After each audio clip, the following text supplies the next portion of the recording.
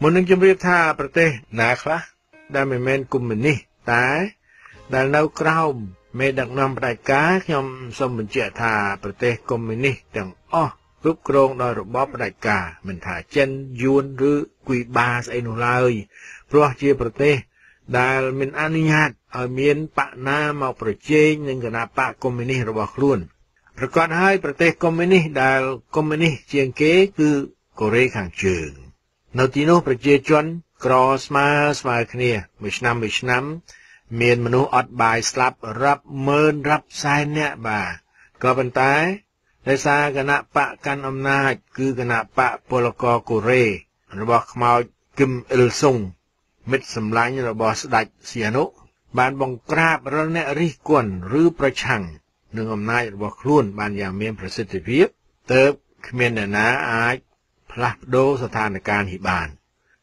ព្រឹងសង្ឃឹមឲ្យប្រជាពលរដ្ឋកូរ៉េខាងជើងបះបោប្រឆាំងនឹងគឹមចុងអ៊ុនដែលជាចៅរបស់គឹមអ៊ីលសុងមើលទៅគ្មានផ្លូវទេបាទមែនទេហើយប្រទេសកុម្មុយនីសដែលអួតអាងថាខ្លួនជាប្រទេសប្រជាធិបតេយ្យស្អីហ្នឹងច្រើនតែបង្កើតគណៈបកត្រឹមត្រូវតាមច្បាប់ផ្សេងទៀតក្រិនសម្រាប់បញ្ឆោតប្រជាជននិងភ្នែកបរទេសថាជាប្រទេសប្រជាធិបតេយ្យ បាទក្នុងចំណោមប្រទេសមិនកុម្មុយនីសតែក៏មិនសេរី គឺប្រទេសដែលស្ថិតនៅក្រោមអំណាចផ្ដាច់ការរបស់មេដឹកនាំផ្ដាច់ការមានច្រើនរាប់ស្ទើរមិនអស់បាទនៅកាលទ្វីបគឺទ្វីបអាហ្វ្រិកហ្នឹងក៏មានកាមេរូនហ្គីណេអេក្វាតូរីយ៉ាល់អេរីត្រេអេធីអូពីរ៉ុនដាស៊ូដង់ទូនីស៊ីហ្ស៊ីមបាប់វេអីអស់ហ្នឹងបាទនៅអឺរ៉ុប ក៏មានរុស្ស៊ីនិងអតីតសមាជិកសហភាពសូវៀតដូចជាបេឡារុសកាហ្សាក់ស្ថានទឿមេនីស្ថានអ៊ូស្បេគីស្ថានអីហ្នឹងហើយនៅមជ្ឈិមបូព៌ាក៏មានអេស៊ីបអ៊ីរ៉ង់គូវេតបារ៉េនបាទយ៉ូដានីស៊ីរីហើយនៅអាស៊ីយើងក៏ឃើញមានបាទកម្ពុជាបាទកម្ពុជា តែជាអតីតប្រទេសកុម្មុយនីសរបស់អាខ្វាងដែលស្ពិនភ្នែកបាទបោកប្រាស់អន្តរជាតិថាជាប្រទេសសេរីពហុបកក៏ប៉ុន្តែគ្រប់គ្រងដោយវងចោលប្រើអំណាចផ្ដាច់ការយ៉ាងគួរឲ្យខ្ពើមឆ្អើមជាទីបំផុតលោកអ្នកនាងណាប្រកាយថាខ្ញុំនិយាយខុសសូមពិនិត្យមើលស្ថានភាពក្នុងប្រទេសសពថ្ងៃនឹងជាពិសេសបើ មិនបានប្រព្រឹត្តភ្នែកទេ គឺមិនបានលងលក់ក្នុងសុបិនល្អទេក៏គួរតែចាំបានថាពួករបបដេរិឆាននេះ វាប្រើរទេះតង់រត់ពីសដែកនិងយោធារាប់ម៉ឺននាក់បាទយកមកពាត់ភ្នំពេញ មកប្លន់ស្លឹកឆ្នោតដោយឲ្យអាប្រមឹកខៀវកញ្ញរិទ្ធវាប្រកាសលទ្ធផល ការបោះឆ្នោតខែកក្កដាឆ្នាំ2013នោះបាទក្រៅពីកម្ពុជាហើយប្រទេសផ្ដាច់ការមួយទៀតគឺ ស្រុកសៀមខណៈនេះបាទដែលគ្រប់គ្រងដោយពួកទាហានអត់មានការបោះឆ្នោតទេបោះឆ្នោតនៅឆ្នាំក្រោយក្រៅពីនេះក៏មានប្រទេសប្រ៊ូណេដែលជាប្រទេសមិនប្រជាធិបតេយ្យចិននិងយួនប្រទេសឡាវកំពេចកំពុកមិនបាច់យកមកនិយាយទេបាទតើចិននិងយួនជាប្រទេសប្រភេទណាយើងដឹងហើយថាប្រទេសទាំងពីរនេះគឺជាប្រទេសកុម្មុយនីសតើ ប្រទេសនេះផ្ដាច់ការទេច្បាស់ណាស់ហើយតែកុម្មុយនីសគឺផ្ដាច់ការហើយបាទគណៈបកតែមួយគឺជាផ្ដាច់ការសមូហភាព collective dictatorship ដោយសារគណៈបកកុម្មុយនីសចិនគណៈបកកុម្មុយនីសវៀតណាមមានអនុញ្ញាតឲ្យអ្នកណាឬបកណាមកប្រកួតប្រជែងនឹងពួកខ្លួនឡើយ មានចំណុចល្អបន្តិចគឺក្រុមមេដឹកនាំនៃប្រទេសទាំងពីរហ្នឹង គេមិនក្រាញនៅនឹងអំណាចយូរទេគេផ្លាស់វេនគ្នា កាន់អំណាចគឺបដូរវេនគ្នាធ្វើអ្នកមានសួរថាប្រទេសទាំងពីរហ្នឹងវាពុករលួយទេបានមិនបាច់ឆ្លើយតបលោកអ្នកនាងក៏ច្បាស់ជាជ្រាបហើយនៅស្រុកចិនឃើញមានបញ្ហារឿងចាប់មន្ត្រីគណៈបកកុម្មុយនីសនឹងយកទៅបាញ់ចោលមកជព្រោះបាទ បានសេចក្តីថាពុករលួយព្រោះមានសុភាសិតគេថាមនុស្សនឹងប្រាក់យៈនឹងសាច់ឆ្កែនឹងអាចស្ដាច់នឹងរាជគឺឲ្យតែដាក់ចិត្តគ្នា គឺបានការហ្មងទៅណាវាបាទមេដឹកនាំទាំងចិនទាំងយួនមានការផ្លាស់ប្ដូរមករហូតគឺសមាជគណៈបកគេធ្វើការបោះឆ្នោតជ្រើសរើសមេដឹកនាំថ្មីដោយសារទាំងចិនទាំងយួនមានមនុស្សច្រើនទើបគេអាចធ្វើការផ្លាស់ប្ដូរ មេដឹកនាំបានថ្មីថ្មីមកជារយៈរយៈវាខុសពីស្រុកខ្មែរបាទមិនដឹងជាខ្សត់អ្នកចេះអ្នកដឹងយ៉ាងណាទេរោគអ្នកពូកែមិនបានសោះជាប់គាំងទៅនឹងអាខ្វាងមក30ផ្លាយឆ្នាំហើយតើអ្នកផ្សេងទៀតសិតតែជាមនុស្សសំគិះអសមត្ថភាពចាញ់ឥទ្ធិពលអាមនុស្សពិការមិនគ្រប់លក្ខបែបនេះមែនឬបាទលោកនាងពិនិត្យមើលម្នាក់ម្នាក់នៅក្នុងគណៈបកប្រជាជនដែលយួនបង្កើត មានអ្នកខ្លះមានសមត្ថភាពដែរបាទមានទេតាមិនបានជាមិនអាចដណ្ដើមយកអំណាចគ្រប់គ្រងពីកណ្ដាប់ដៃអាចង្រៃខ្វាងនេះបាន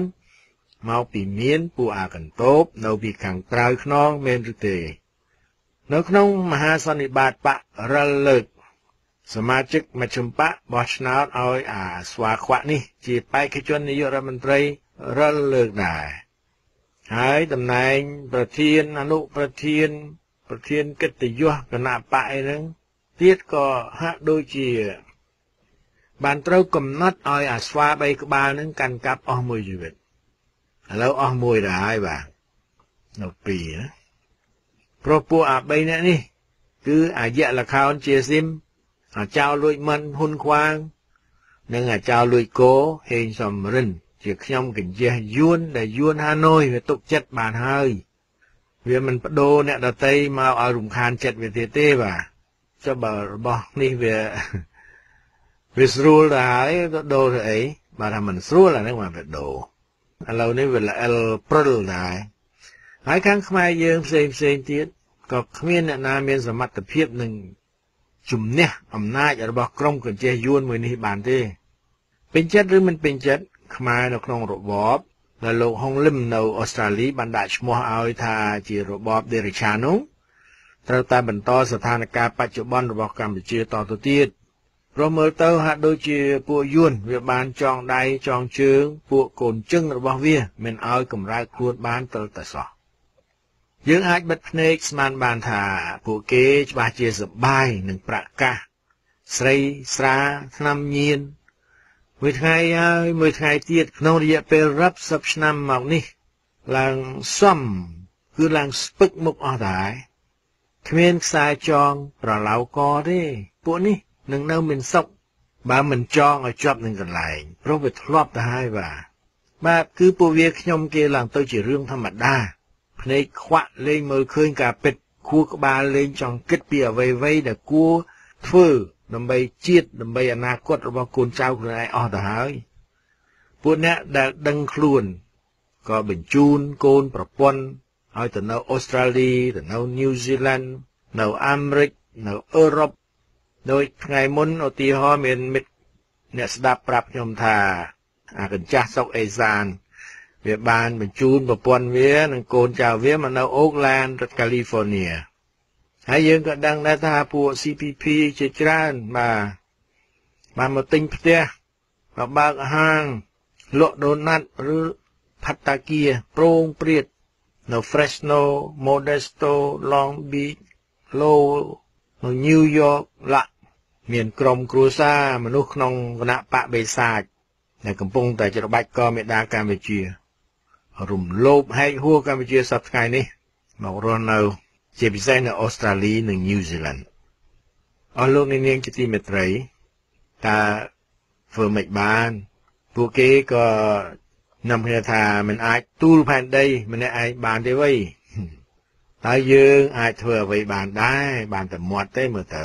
អស់លោកអ្នកនាងជាទីមេត្រីម្សិលមិញនេះខ្ញុំបាទបានសន្យាថានឹងលើកយកសេចក្តីថ្លែងការណ៍របស់លោកឌីការ៉េតអនុប្រធាននៃគណៈកម្មាធិការព្រំដែនកម្ពុជានៅប្រទេសបារាំង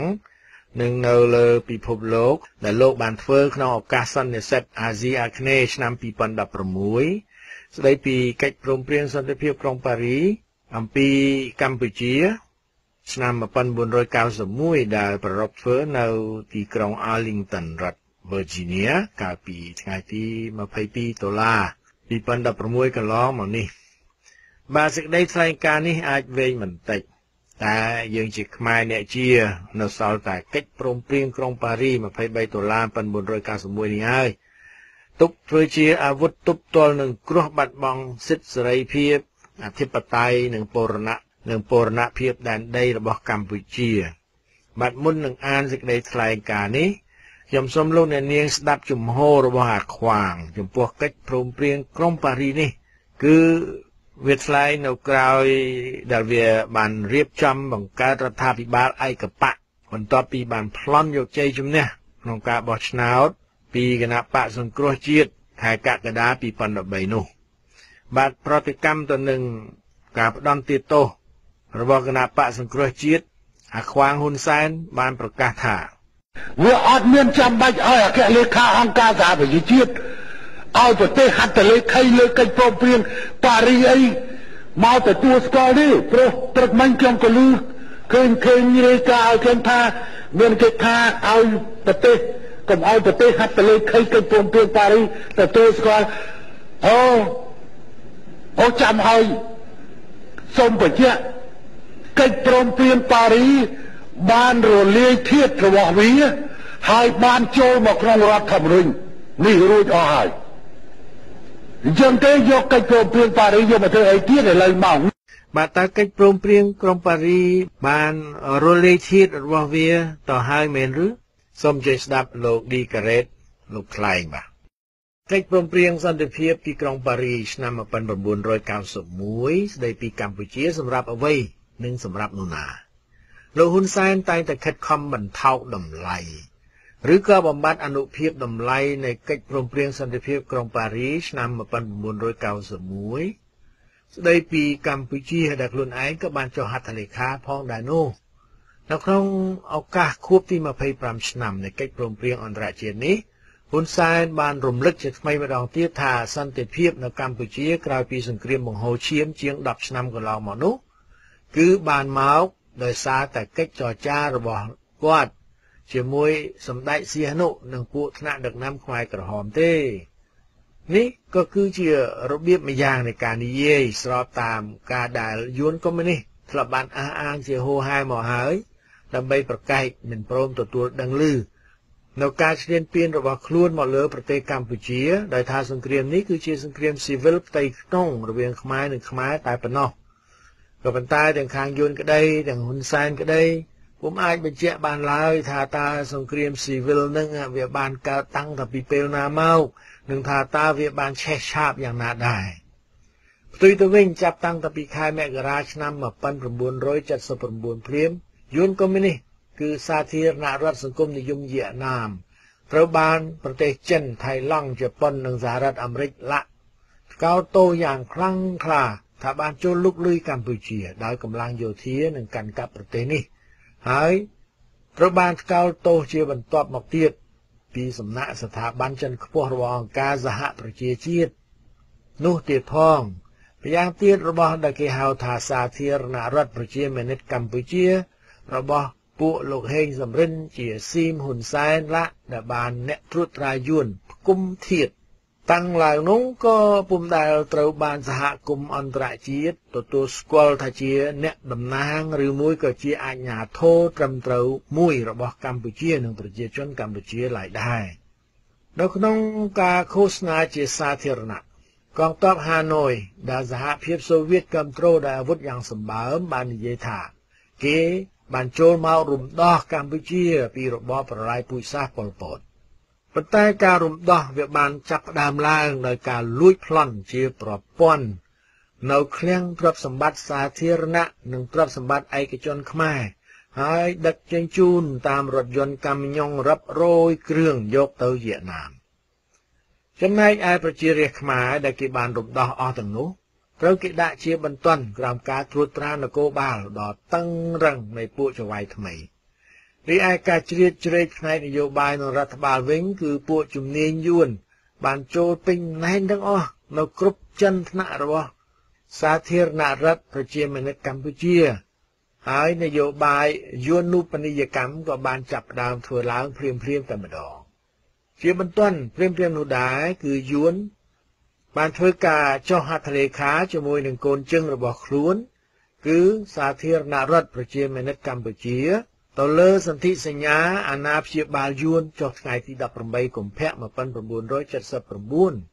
និងការកាត់យកទឹកដីកម្ពុជា ចាប់តាំងពីឆ្នាំ1982 1983មកហេតុការណ៍ទាំងនេះដែលបានកើតជាក់ស្ដែងគឺក្រោយការសម្លាប់រង្គាលដោយរបបប៉ុលពតប្រទេសកម្ពុជាបានក្លាយជាចំណីមួយដ៏ងាយស្រួលបំផុតដែលពួកអ្នករំដោះយួនប្រញាប់ប្រញាល់ត្របាក់លេបយកភ្លាម ក៏ប៉ុន្តែចាប់តាំងពីឆ្នាំ1986ការកែតម្រង់របស់លោក Gorbachev នៅសហភាពសូវៀតនោះ បានធ្វើឲ្យរបបកុម្មុយនីសទាំងឡាយនៅអឺរ៉ុបខាងកើតចាប់ដើមរងគ្រោះរង្គើប្រកបដោយគ្រោះថ្នាក់បំផុតមុននឹងត្រូវដួលរលំទាំងស្រុងជាបន្តបន្ទាប់គ្នានៅឆ្នាំ1989យួនហាណូយដែលបានមើលឃើញថា ការចូលលុកលុយកម្ពុជា បានคล้ายទៅជាការជាប់ផុងកាន់តែជ្រៅទៅជ្រៅទៅនោះក៏បានមើលឃើញផងដែរនៅភាពឯកោរបស់ខ្លួននៅលើឆាកអន្តរជាតិបន្ទាប់ការចោះថយជំនួយយោធា និងហិរញ្ញវត្ថុពីសហភាពសូវៀតចាប់តាំងពីឆ្នាំ1985 1986ផងដែរការកាន់កាប់របស់យួននិងរបប សាធារណរដ្ឋប្រជាមានិតកម្ពុជានៅកម្ពុជាក៏បានធ្លាក់ចុះប្រជាប្រិយភាពទាំងស្រុងទៀតនៅក្នុងប្រទេសពេលនោះពួកយួនបានបើកការវាយប្រហារយ៉ាងខ្លាំងខ្លាំងបំផុតទៅលើកងកម្លាំងតស៊ូខ្មែរនាភាគខាងលិចនៃប្រទេសក៏ប៉ុន្តែពួកវាបានដឹងយ៉ាងច្បាស់ហើយថាវាមិនអាចបន្តសង្គ្រាមនៅកម្ពុជាបានយូរតទៅទៀតទេហាណូយដែលធ្លាប់បាននិយាយថាសៀនុជាមនុស្សអស់អនាគតហើយនោះ ក៏បែរជាស្វះស្វែងរកកិច្ចតាក់ទងជាមួយស្ដេចសៀនុវិញ តាមរយៈលោក Nikolai Ceausescu ប្រធានាធិបតីនៃប្រទេសរូម៉ានីដើម្បីសុំស្នើបတ်ឈប់បាញ់គ្នាជាយថាហេតុមួយនៅប្រទេសកម្ពុជាប៉ុន្តែសម្ដេចសៀនុបានប្រកែកមិនទទួលអ្នកនិរសានៃប្រទេសរូម៉ានីហើយនេះទៅនៅខែធ្នូឆ្នាំ1987 ហាណូយក៏បានសម្រេចចិត្តបញ្ជូនរដ្ឋមន្ត្រីទី1ហ៊ុនសែនដោយផ្ទាល់របស់ខ្លួនមកកាន់ប្រទេសបារាំងដើម្បីសុំជួបសវនាការជាមួយសម្ដេចសៀនុជាពិសេសគឺដើម្បីរកវិធីស្រោចស្រង់អំណាចរបស់ខ្លួននៅភ្នំពេញដល់ឡែកទៀតការវាយប្រហារដ៏ធំធេងរបស់យួននៅកម្ពុជានៅខែធ្នូឆ្នាំ1978គឺវាមានការពាក់ព័ន្ធនយោបាយនិងយោធាជាប្រកបណាស់ ជាមួយនឹងការវាយយកប្រទេសឡាវហើយដាក់ឲ្យស្របច្បាប់នៅសន្ធិសញ្ញានៃខែកក្កដាឆ្នាំ1977ដោយយួនកុម្មុយនីសអាស៊ីភាគអាគ្នេយ៍ទាំងមូលក៏ចាប់ផ្ដើមមានការជ្រួលច្របល់និងអស្ថិរភាពប្រទេសថៃនិងប្រទេសម៉ាឡេស៊ីជាពិសេសបារម្ភជាខ្លាំងចំពោះការងើបផុសផុលឡើងវិញនៃចលនាកុម្មុយនីសក្នុងស្រុករៀងរៀងខ្លួន ដែលហេតុថាចលនាទាំងនេះ បានត្រូវរៀបចំបង្កើតឡើងដោយជំនួយរបស់ហូជីមិញកាលពីក្នុងអំឡុងពេលយុវភាពរបស់គាត់ដូច្នេះគេបានយល់ថាគេត្រូវតែបញ្ឈប់ការវាទីរបស់យួនកុម្មុយនីសជាចាំបាច់គឺថាគេត្រូវរៀបរៀងការបន្តសង្គ្រាមវៀតណាមដែលត្រូវបានបញ្ចប់នៅខែមេសាឆ្នាំ1975ហើយនោះ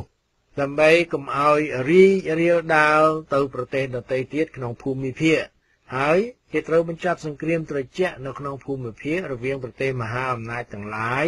នៅក្នុងពិភពលោកនោះផងហេតុនេះហើយការកោះប្រជុំសន្និសីទសន្តិភាពមួយនៅក្នុងប៉ារីអំពីសង្គ្រាមនៅកម្ពុជាក៏ស្ថិតនៅក្នុងផលប្រយោជន៍នៃគ្រប់ភាគីទាំងអស់នោះដែរការចរចាផ្ដួចផ្ដើមឡើងដំបូង រវាងគូភាគីខ្មែរទាំងអស់មានរយៈវេលាចំនួន2ឆ្នាំ នៅក្នុងរដ្ឋធានីនានានៅអាស៊ីនិងនៅអឺរ៉ុបជាមួយនឹងវត្តមាននិងកិច្ចឧបត្ថម្ភរបស់អ្នកតំណាងនៃអង្គការសហប្រជាជាតិនៅឱកាសបើកសន្និសីទដែលមានប្រទេសចំនួន18នៃទ្វីបទាំង4និងលោកអគ្គលេខាធិការអង្គការសហប្រជាជាតិចូលរួមផងនោះដើម្បីរួមយ៉ាងសកម្មក្នុងការតាក់តែងកិច្ចព្រមព្រៀង ពីបញ្ហាកម្ពុជានោះលោកប្រធានាធិបតីបារាំង François Mitterrand បានធ្វើសេចក្តីចាប់ផ្ដើមសន្ទរកថា ដោយបានបកស្រាយយ៉ាងច្បាស់នៅគោលដៅ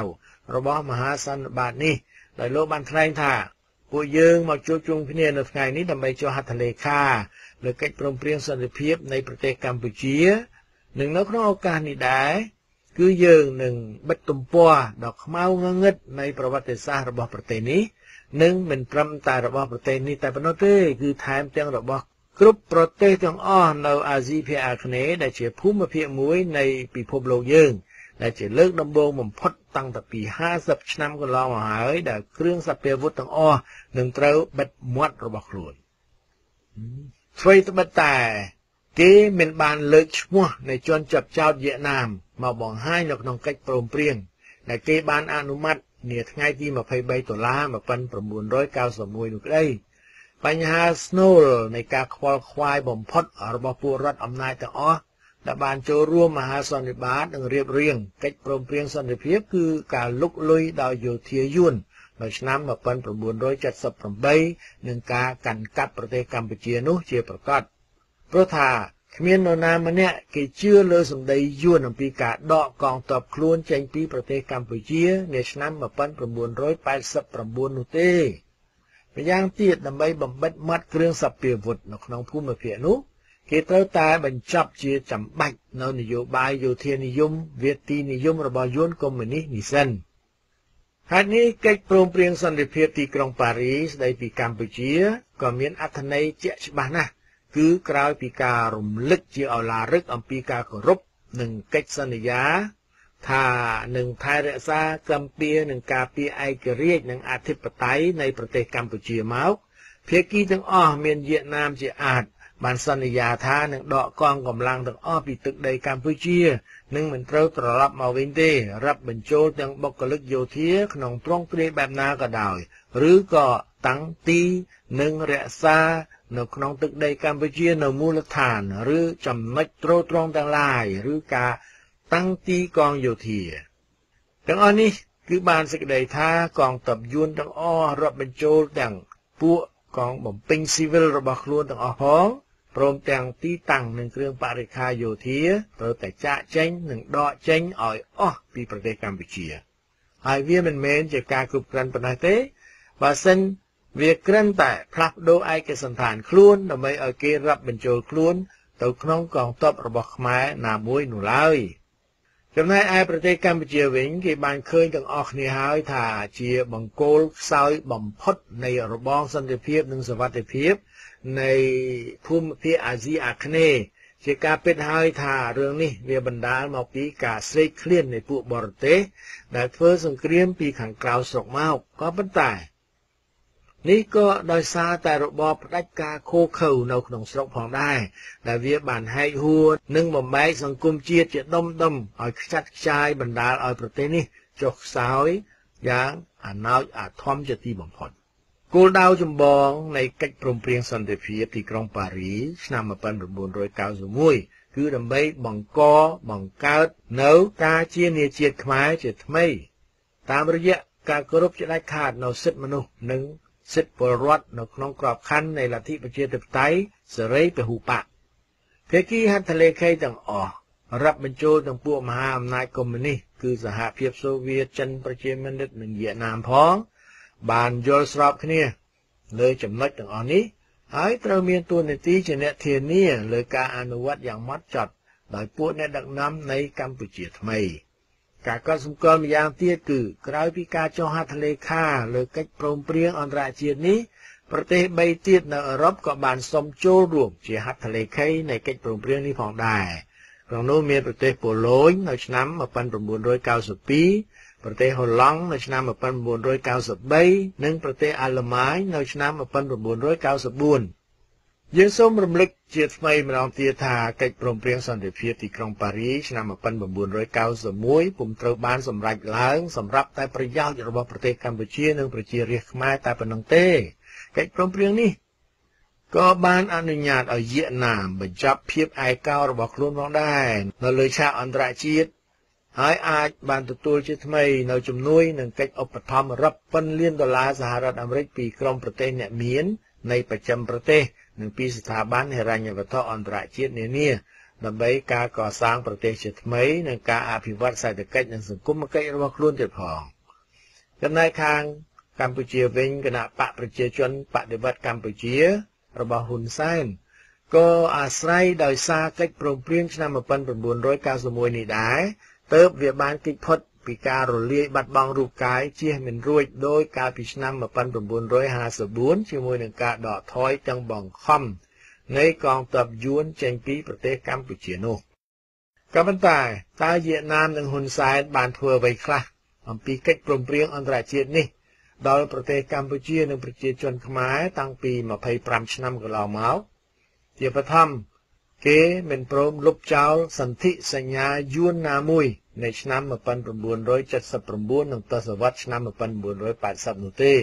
តែផ្ទុយទៅវិញ គេនៅតែអនុវត្តសន្ធិសញ្ញាទាំងអស់នោះនិងបង្ខិតបង្ខំបង្កើតសន្ធិសញ្ញាបំពេញបន្ថែមមួយទៀតនៅខែតុលាឆ្នាំ2005ចាប់តាំងពីឆ្នាំ1993មកការរំលោភជាប្រព័ន្ធដោយហាណូយនិងរដ្ឋមន្ត្រីទី1ហ៊ុនសែននិងបកពួករបស់គាត់ នៅក្នុងគ្រប់វិស័យទាំងអស់នៃកិច្ចព្រមព្រៀងអន្តរជាតិទីក្រុងប៉ារីនោះបានធ្វើឲ្យប្រទេសកម្ពុជាស្ថិតនៅដោយប្រទេសឡាវដែរ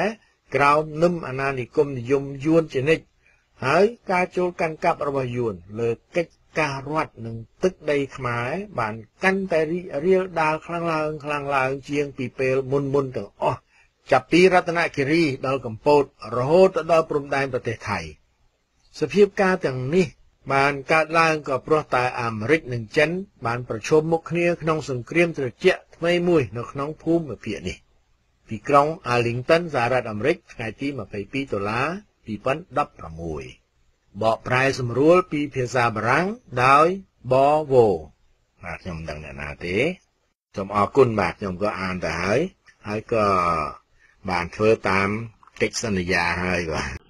របស់លោកឈុនជីមៀ ដែលលោកផ្ញើមកហ្នឹងមកបកប្រែឲ្យអានជូនលោកនាងស្ដាប់ទៅចុះបាទលោកឈិនជីមេសរសេរដូចនេះលបែងបោះឆ្នោតឆ្នាំ2018នេះប្រជាពលរដ្ឋខ្មែរយើងជ្រាបលទ្ធផលអស់ទៅហើយគឺ1បានអ្នកគ្រប់គ្រងគណៈបកសង្គ្រោះជាតិមិនទៅបោះឆ្នោតនៅថ្ងៃបោះឆ្នោតទេនោះ គណៈបកប្រជាជនកម្ពុជានិងប្រែតហ៊ុនសែនក៏នឹងប្រកាសខ្លួនជាជ័យលាភីគឺជាអ្នកឈ្នះការបោះឆ្នោតលើនេះ2បើប្រជាពលរដ្ឋខ្មែរនាំគ្នាទៅបោះឆ្នោតឲ្យគណៈបកតូចតូចដទៃទៀតគណៈបកប្រជាជនកម្ពុជានិងអាប្រែតហ៊ុនសែនក៏នឹងនៅតែជាអ្នកឈ្នះ3 បើគណៈបកនយោបាយណាក្រៅពីគណៈបកប្រជាជនសំណាងល្អคล้ายទៅជាអ្នកឈ្នះក្នុងការបោះឆ្នោតនេះគណៈបកប្រជាជននិងអាប្រែតហ៊ុនសែនក៏នឹងធ្វើឃាតឬចាប់ដាក់គុកមេដឹកនាំគណៈបកនោះហើយក៏រំលាយគណៈបកនោះចោលដោយដែលគេបានធ្វើទៅលើគណៈបកសង្គ្រោះជាតិរួចទៅហើយនោះដែរ ការថ្លែងទាំងអំបាលម៉ានខាងលើនេះទាំង3ខនេះគឺជាការពិតដូច្នេះតើមានដំណោះស្រាយយ៉ាងណាសម្រាប់បញ្ហាកម្ពុជាយើងចាស់បើយល់ដឹងពីការពិតទាំងនេះទៅហើយមិនដេចឡើយគណៈបកខ្លះនៅតែចង់ទៅចូលរួមការបោះឆ្នោតទៀតបើមេដឹកនាំគណៈបកនយោបាយទាំងអស់នោះជាខ្មែរ គេគួរតែធ្វើពហិការមិនចូលរួមការបោះឆ្នោតលើនេះ ហើយចាត់ដៃរួមកម្លាំងជាមួយនឹងគណៈបកសង្គ្រោះជាតិធ្វើការតស៊ូទាមទារលក្ខខណ្ឌនៃការបោះឆ្នោតគឺប្រោះជីវិតគណៈបកសង្គ្រោះជាតិឡើងវិញហើយអនុញ្ញាតឲ្យគណៈបកនេះចូលរួមក្នុងដំណើរការការបោះឆ្នោត ពិតប្រាកដណាស់បញ្ហាកម្ពុជាពុំអាចដោះស្រាយបានរវាងខ្មែរនិងខ្មែរឡើយព្រោះតែការបដិញ្ញាចិត្តយ៉ាងខ្លាំងក្លារបស់អាប្រែតហ៊ុនសែនថាត្រូវតែបន្តកាន់ក្តាប់អំណាចឲ្យខាងតែបានមិនថាស្រុកខ្មែរនឹងវិនិច្ឆ័យហៅយ៉ាងណានឹងមិនថាយួនមានបំណងបដូរផ្ដាច់ចង់ច្បាមយកប្រទេសកម្ពុជាទៅធ្វើជា ខេត្តរបស់វាយ៉ាងបដូរផ្ដាច់យ៉ាងណានោះឡើយទាំងនេះបង្ហាញថាបញ្ហាពិតប្រាកដគឺកើតមានរវាងខ្មែរនិងយួនមិនមែនរវាងខ្មែរនិងខ្មែរនោះទេបញ្ហាកម្ពុជានឹងត្រូវដោះស្រាយបាននៅទីបំផុតក៏តែតាមរយៈអន្តរាគមរបស់សហគមន៍អន្តរជាតិ គឺជាដំណោះស្រាយស្រដៀងគ្នានឹងកិច្ចព្រមព្រៀងក្រុងប៉ារីសឆ្នាំ1991នោះដែរទាំងអស់100%គឺនៅលើប្រជាពលរដ្ឋខ្មែរត្រូវតែសម្រេចចិត្តថាធ្វើអ្វីម្យ៉ាងដែលត្រឹមត្រូវដូចជាធ្វើបាតុកម្មអហិង្សាទូទាំងប្រទេសដែលមិនមែនជាចលនាតស៊ូរបស់ប្រជាជន ហើយទាមទារយ៉ាងម៉ឺងម៉ាត់ឲ្យមានការតែងតាំង គណៈបកសង្គ្រោះជាតិឡើងវិញដោយមហាបាតុកម្មត្រូវចាប់ផ្ដើមធ្វើ7ថ្ងៃមុនថ្ងៃបោះឆ្នោតហើយចេះតែបន្តទៀមទារហូតដល់ថ្ងៃបោះឆ្នោតធ្វើឲ្យការបោះឆ្នោតប្រព្រឹត្តទៅលេងកើតទាំងនេះដើម្បីរារាំងមិនឲ្យអប្រែកហ៊ុនសែនអាចប្រកាសថាវាគឺជានាយករដ្ឋមន្ត្រីថ្មីរបស់កម្ពុជា បើកាលណាអប្រែកហ៊ុនសែនហ៊ានតែបង្ក្រាបបាតុកម្មអហិង្សាបែបនេះសហគមន៍អន្តរជាតិក៏នឹងមានកាតព្វកិច្ចផ្លូវចិត្តចាំបាច់ត្រូវតែមកជួយប្រជាពលរដ្ឋខ្មែរនិងប្រទេសកម្ពុជាម្ដងទៀតដូច្នេះយើងត្រូវជួយខ្លួនយើងជាមុនសិនមុននឹងសុំឲ្យអ្នកដទៃមកជួយយើងយើងចាំបាច់ត្រូវតែតប្រឆាំងនឹងយួនយ៉ាងไรនេះ ហើយនឹងកញ្ជះបាតជើងរបស់វា គឺអាប្រែតនរកខ្វាង តាមរយៈយុទ្ធវិធីដែលជាក់លាក់ច្បាស់លាស់សមស្របនឹងច្បាប់ជាតិនិងអន្តរជាតិហើយយើងក៏ត្រូវតែប្រើប្រាស់តាក់ទិកនេះយ៉ាងមានប្រសិទ្ធភាពនិងស្របតាមពេលវេលាត្រឹមត្រូវផងបានអពុកែជីសេះស្រដែលនឹងមកជួយខ្មែរយើងពិតប្រកបនោះ គឺសហគមន៍អន្តរជាតិឯណោះទេក៏ប៉ុន្តែ ប្រជាពលរដ្ឋខ្មែរចាំបាច់ត្រូវតែផ្ដួចផ្ដើម ដោយសកម្មភាពដែលស្របច្បាប់និងខ្លាំងក្លាមែនទែនជាមុនសិនខ្ញុំសូមលើកយកឧទាហរណ៍មួយអំពីវិធីវាយប្រហារទៅលើអាប្រែតហ៊ុនសែននិងពួកអាយុនកន្តោកឲ្យចាំរឹកពីពេលលាល្អតើគណៈបកសង្គ្រោះជាតិអាចឈ្នះបានយ៉ាងណា កើបើបកនេះបណ្ដោយឲ្យគណៈបកប្រជាជនដែលយួនបង្កើតធ្វើការវាយប្រហារមកលើខ្លួនដោយឥតមានការតបតទៅវិញសោះនោះជាពិសេសគណៈបកសង្គ្រោះជាតិគួរតែតទល់នឹងគណៈបកប្រជាជនយ៉ាងបដូរផ្ដាច់នៅពេលដែលបកសង្គ្រោះនេះបានធ្វើច្បាប់គណៈបកនយោបាយដែលគោលបំណងគឺដើម្បីរំលាយគណៈបកសង្គ្រោះជាតិចោលនោះ យើងត្រូវតែវាយតបតនៅពេលវេលាសមស្របនិងដើម្បីបុព្វហេតុសមស្របតស៊ូគឺខ្ញុំចង់និយាយអំពីការត្រៀមខ្លួនជាស្រេចនិងពលីជីវិតដើម្បីទប់ស្កាត់បំបត្តិចោលច្បាប់ដ៏សែនលើគឺនេះបាទតស៊ូដើម្បីរៀបរៀងច្បាប់ដែលគ្មានធម្មនុញ្ញភាពនេះ